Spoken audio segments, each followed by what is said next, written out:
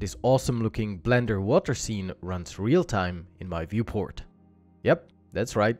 This is the new Physical Open Waters add-on from the Physical Add-ons group. And really, I was waiting a long time for this one, because I definitely plan to employ it in my future Heroes of Bronze videos.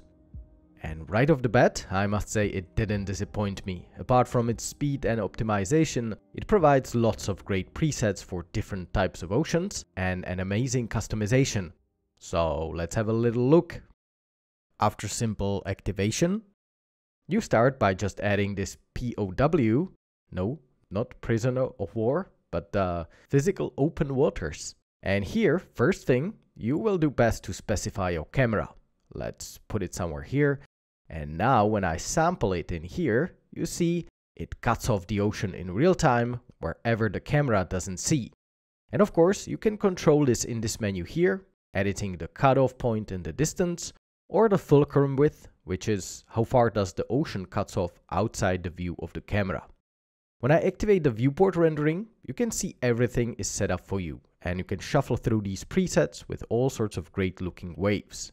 You can add your HDRI lighting, or in my case, I'm actually using this other product from Physical Add-ons, the Starlight and Atmosphere. Super easy to set up with very nice looking results. Oh, and don't forget to switch to this new AGX color profile if you're working in Blender 4.0. It does provide more realistic results, I think. And now just a moment of appreciation for the fact that this all runs smoothly in Eevee but of course, a powerful GPU helps. In this mesh menu, you can change the size and resolution of the ocean, all super fast. Uh, but let's go with the default values, as well as for this material menu here, where you can control the subsurface scattering and the color of the water. Now in this waves menu, that's where you can set up most of the details concerning the size and movement of the waves, from the smallest to the largest. And also, uh, you can adjust the speed of the wind and its angle and add some foam here.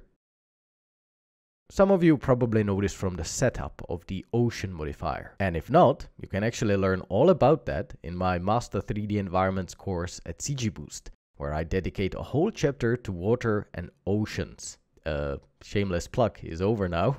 But with this add-on, you can also play around with the so-called capillary waves, those tiny little waves resulting from the surface tension. Normally you can see this, for example, when soft wind hits the water. What I find absolutely amazing is that this add-on actually uses level of detail. So the quality of the ocean depends on how far from the camera it is. And it gives more detail to the areas closest to it, while those further away are less detailed. That's why it can be so fast and yet look amazing.